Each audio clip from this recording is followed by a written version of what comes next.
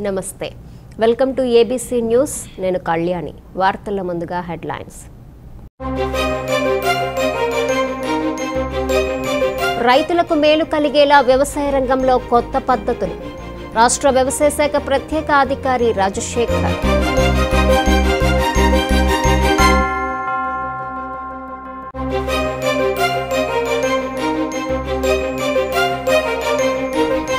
స్థానిక సంస్థల్లో బీసీలకు ముప్పై నాలుగు శాతం రిజర్వేషన్ కల్పించాలి. ధర్నాలో బీసీ నాయకుల డిమాండ్.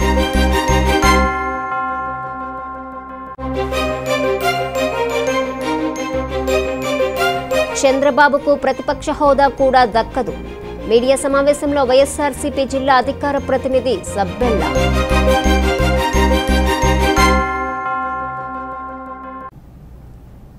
ప్రభుత్వ ఉద్యోగులకు ప్రతి నెల వేతనం వస్తున్నట్టే రైతులకు కూడా ఏడాదంతా ఆదాయం వచ్చే విధంగా వ్యవసాయాన్ని కొత్త పుంతలు తొక్కిస్తున్నారని రాష్ట్ర వ్యవసాయ శాఖ ప్రత్యేక కార్యదర్శి బి. రాజశేఖర్ అన్నారు.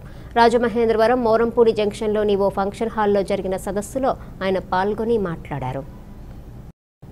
రాజమహేంద్రవరం మోరంపూర్లోని ఫంక్షన్ హాల్లో వ్యవసాయ శాఖ ఖరీఫ్ సీజన్లో చేపట్టాల్సిన కార్యాచరణ పద్ధతులు ప్రభుత్వ విధానంపై ఆ శాఖలో కింది స్థాయి నుంచి పై స్థాయి అధికారులతో ఒకరోజు సెమినార్ను నిర్వహించారు.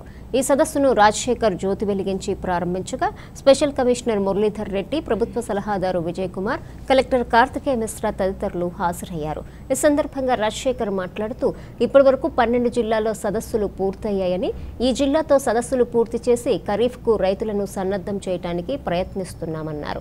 అనంతపురంలో గత ఏడాది వర్షం లేకుండా వేరుశెనగ పంట పండించే విధానాన్ని ప్రయోగాత్మకంగా ప్రారంభించామని ఈ ఏడాది ఆ పద్ధతిని అన్ని జిల్లాల్లో అనుసరించాలని కృషి చేస్తున్నట్లు వివరించారు.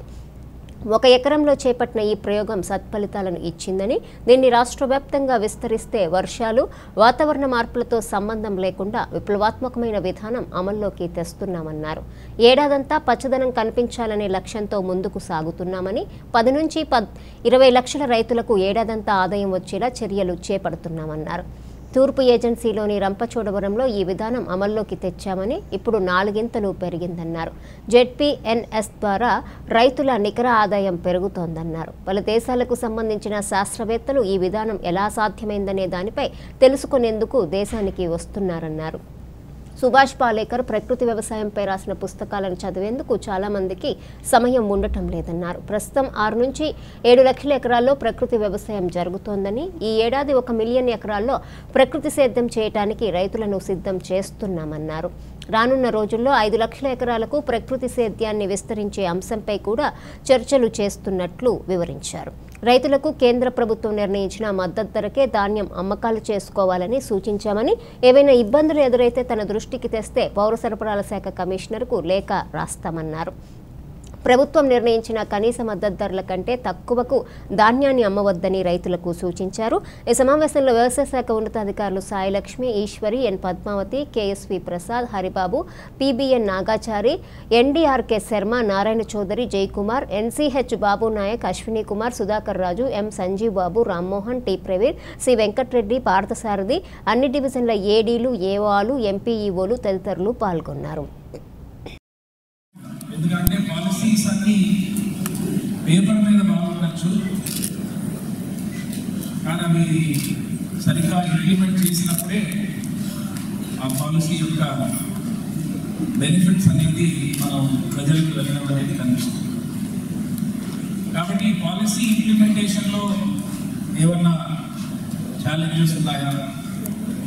అవి స్ట్రక్చరల్గా ఉదాహరణకి ఈ అన్ని జిల్లాల్లో వస్తున్న ఫీడ్బ్యాక్ రెవెన్యూ యంత్రాంగం వ్యవసాయ శాఖతో కలిసి రావట్లేదు అనేది ఒక ఫీడ్బ్యాక్ వచ్చింది. సో ఇటువంటి ఫీడ్బ్యాక్ తీసుకుని మరి ఆ కరెక్షన్స్ ఏవైతే చేయాల్సి వస్తుందో అవి చేయడానికి చాలా ఉపయోగపడుతుంది. ఈ మధ్య కాలంలో నాకు స్వయంగా చాలా తృప్తినిచ్చిన అనుభవం ఈ జిల్లాలో జరుగుతున్నటువంటి ఈ వడ్డీ ఓరియంటేషన్ ప్రోగ్రామ్ దానికి కమిషనర్ గారు తీసుకున్న ఈ నిర్ణయానికి మనం అందరం ధన్యవాదాలు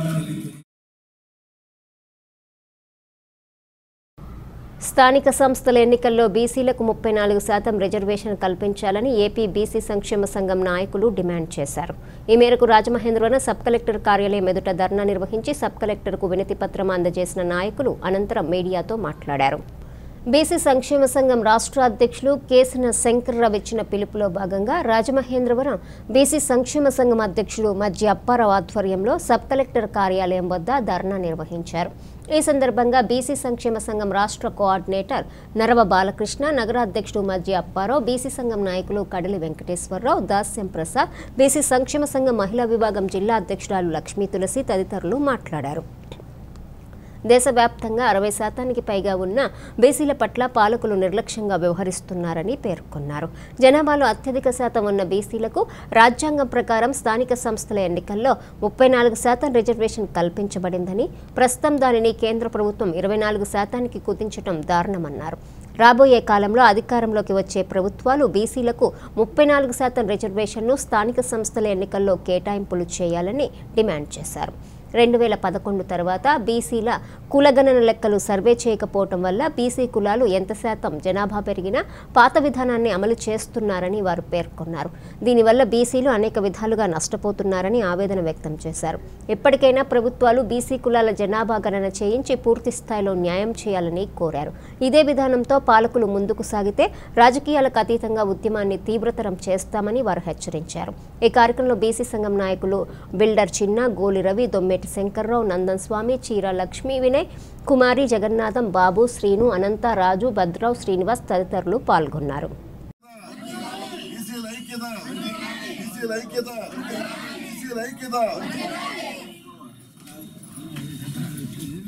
అనేది ఇప్పుడు బీసీ వాళ్ళు బీసీ ఓటు అనేది ఎంత వరకు ఉన్నదో ప్రతి ఒక్క రాజకీయ నాయకుడికి తెలిసిన విషయం అండి. కాకపోతే ఏంటంటే ఓట్లు తీసుకునేటప్పుడు వచ్చి బీసీ బీసీ వాళ్ళకి చేసేస్తామని అంటున్నారు తప్ప ఇప్పుడు మాకు ఇందులో రిజర్వేషన్ పెంచేది కాదు కదా ఉన్నది థర్టీ ఫోర్ పర్సెంట్ కూడా మాకు ఇవ్వకుండా ట్వంటీ ఫోర్ పర్సెంట్ అనేది చేయడం అనేది చాలా మేమంతా అసలు ఎవరు అంగీకరించలేకపోతున్నామండి. రాబోయే స్థానిక ఎలక్షన్స్లో మాత్రం ప్రతి ఏ ఏ గవర్నమెంట్ వచ్చినా సరే ఏ నాయకుడు వచ్చినా సరే బీసీలకి మాకు తగిన ప్రాధాన్యం కల్పించవలసిందిగా మాకున్న థర్టీ ఫోర్ పర్సెంట్ రిజర్వేషన్ మాకు అందించవలసిందిగా కోరుకుంటున్నామండి. ఈరోజు మా ఆంధ్రప్రదేశ్ బీసీ సంక్షేమ సంఘం రాష్ట్ర అధ్యక్షుడు కేశవ శంకర్ గారి పిలుపు మేరకు మన రాజమండ్రి సబ్ కలెక్టర్ ఆఫీస్ వద్ద సబ్ కలెక్టర్ గారికి ఒక వినతపత్రం మెమరాన్ని సమర్పించాం. దీనికి ముఖ్య ఉద్దేశం ఈ మధ్యకాలంలో మా బీసీ నాయకులు కేంద్ర ప్రభుత్వానికి నివేదిక ఇవ్వడానికి వెళ్తే ఎందుకంటే గతంలో ఉన్న ముప్పై నాలుగు శాతం రిజర్వేషన్ తగ్గిస్తున్నారని చెప్పి తప్పనిసరి ముప్పై నాలుగు శాతం రిజర్వేషన్ ఇవ్వాలని చెప్పి ఒక వినతపత్రం ఇవ్వడం వెళ్ళడం జరిగింది కేంద్ర ప్రభుత్వం దగ్గర అయితే వారు మేము ఇప్పుడున్న పరిస్థితులు ఏమీ చేయలేము. దీని ప్రకారం స్థానిక ఎలక్షన్కి వెళ్ళాలని చెప్పి చెప్పిన తర్వాత ఆంధ్రప్రదేశ్లో ఉద్యమ రూపంలో దీన్ని తీసుకెళ్ళే ఉద్దేశంతో ముందుగా ఈ రోజు సబ్ కలెక్టర్ ఆఫీసులో సబ్ కలెక్టర్ గారికి వినతపత్రం ఇచ్చాం. రాబోయే స్థానిక ఎలక్షన్లో తప్పనిసరిగా ముప్పై నాలుగు శాతం రిజర్వేషన్ అమలు చేయాలని చెప్పేసి ఆ విషయాన్ని వేళ మన సబ్ కలెక్టర్ చెప్పడం జరిగింది. తప్పనిసరి రాష్ట్ర ప్రభుత్వం ఏ ప్రభుత్వం వచ్చేసరి సరే రాబోయే స్థానిక ఎలక్షన్లో ముప్పై నాలుగు శాతం రిజర్వేషన్ తప్పనిసరి కల్పించకపోతే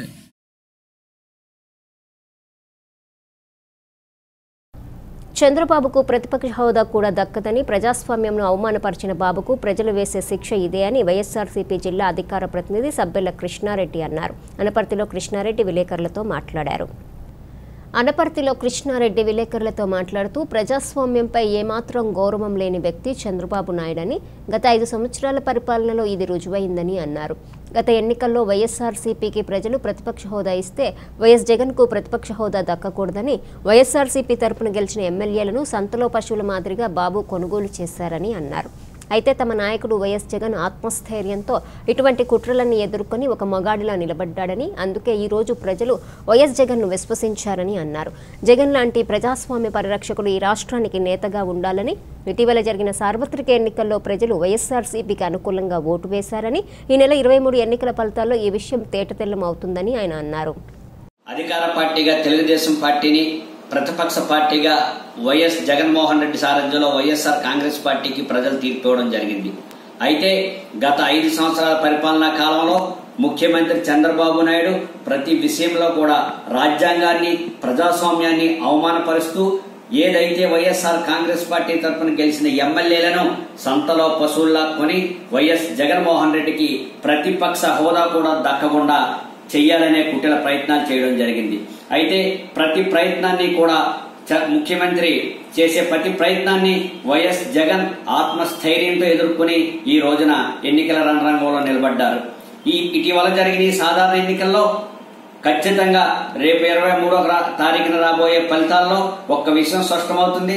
కనీసం తెలుగుదేశం పార్టీకి ముఖ్యమంత్రి చంద్రబాబు నాయుడికి ప్రతిపక్ష హోదా కూడా దక్కని తీర్పును ప్రజలిస్తున్నారు ఎందుకంటే రాజ్యాంగాన్ని అవమానపరిచి ప్రజాస్వామ్యాన్ని అపయాసం చేసిన ముఖ్యమంత్రి చంద్రబాబు నాయుడు లాంటి వ్యక్తికి ప్రజలు ఇచ్చే సరైన తీర్పు ఇదని చెప్పి మనందరూ భావిస్తూ మరొకసారి చెప్తున్నా ఈ ఎన్నికల ఫలితాల్లో ముఖ్యమంత్రి చంద్రబాబు నాయుడికి ప్రతిపక్ష హోదా కూడా దక్కదని చెప్పి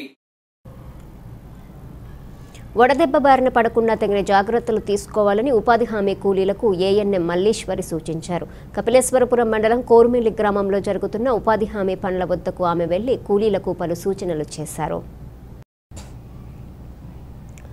మహాత్మా గాంధీ జాతీయ గ్రామీణ ఉపాధి హామీ పథకం కూలీలకు వడదెబ్బ బారిన పడకుండా తీసుకోవాల్సిన జాగ్రత్తలపై స్థానిక ఏఎన్ఎం మల్లీశ్వరి అవగాహన కల్పించారు. కపిలేశ్వరపురం మండలం కోర్మిల్లి గ్రామంలోని బసవరాజు చెరువులో ఉపాధి హామీ పథకం కూలీలు సుమారు రెండు వందల మంది పూడికతీత పనులు చేస్తున్నారు. ఏఎన్ఎం మల్లీశ్వరి ఆశా వర్కర్లు పద్మావతి పుష్పవతి ఉపాధి కూలీలకు ఓఆర్ఎస్ ప్యాకెట్లు పంపిణీ చేశారు.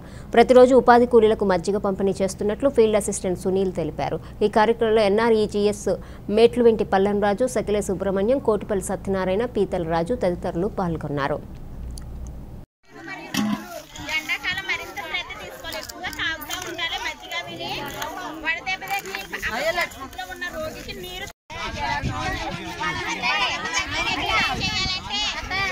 ఇప్పుడు ఎవరికైనా ఏదైనా ఎనిమిది గంటల పని చేస్తారు కదా ఏదైనా వడదెబ్బ తగిలింది అనుకోండి ముందు ఏం కావాలి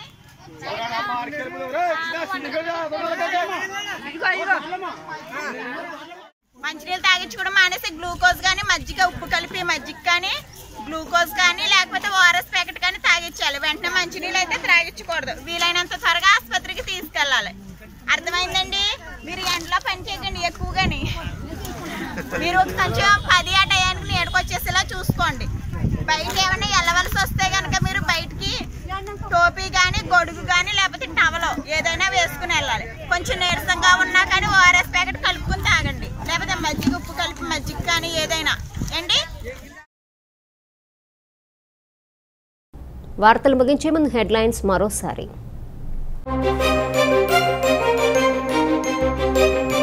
రైతులకు మేలు కలిగేలా వ్యవసాయ రంగంలో కొత్త పద్ధతులు. రాష్ట్ర వ్యవసాయ శాఖ ప్రత్యేక అధికారి రాజశేఖర్.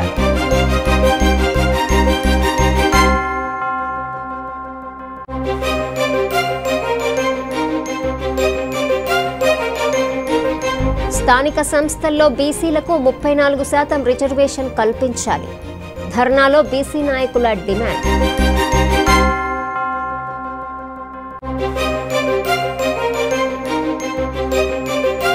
చంద్రబాబుకు ప్రతిపక్ష హోదా కూడా దక్కదు. మీడియా సమావేశంలో వైఎస్ఆర్సీపీ జిల్లా అధికార ప్రతినిధి సబ్బెల్లా.